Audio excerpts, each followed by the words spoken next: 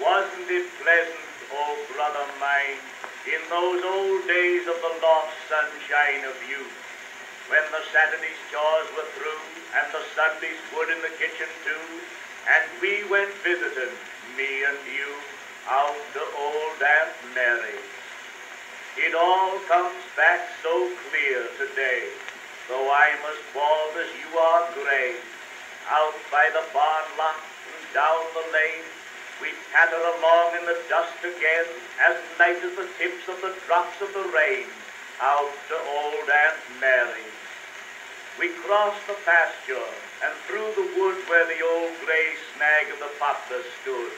where the hammering redhead hopped rye, and the buzzard raised in the clearing sky, and loud and circled as we went by out to old Aunt Mary's. And then in the dust of the road again, and the teams we met, and the countrymen, and the long highway with sunshine spread as thick as butter on country bread, our cares behind and our hearts ahead, out to old Aunt Mary's. Why, I see her now in the open door, where the little gorge grew up the sides and all the clapboard roof, and her face, ah me, wasn't it good for a boy to see,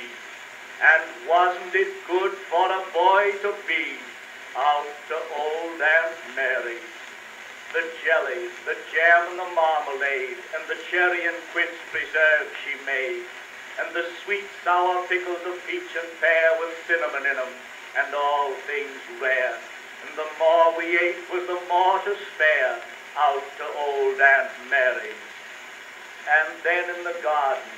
near the side where the beehives were and the path was wide, the apple house like a fairy sail with the little square door we knew so well, and the wealth inside but our tongues could tell, out to old Aunt Mary's. And the old spring house in the cool green bloom of the willow trees, and the cooler room where the swinging shells and the crocks were kept, where the cream in a golden languor slept, while the waters gurgled and laughed and wept out to old Aunt Mary's. And as many a time have you and I, barefoot boys in the days gone by, knelt, and in tremulous ecstasies dipped our lips in the sweets like these. Memory now is on her knees, out to old Aunt Mary. And oh, my brother, so far away, this is to tell you she waits today to welcome us. Aunt Mary fell asleep this morning,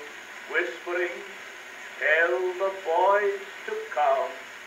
and all his wealth out the old and